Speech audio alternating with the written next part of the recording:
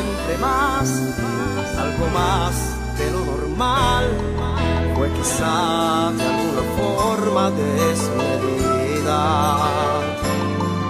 Yo trataba de sumar, pero en cederme fue mi error, porque mi amor no es cauteloso en su medida.